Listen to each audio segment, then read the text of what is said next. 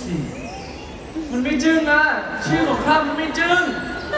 ข้าคิดชื่อไม่ออกอะแล้วทำไมป่าแห่งนี้มันเงียบเหงาจังเลยอะ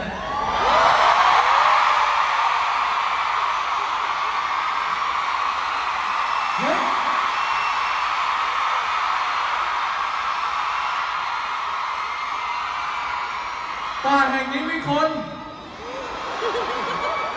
ขอเสียงวิ่งที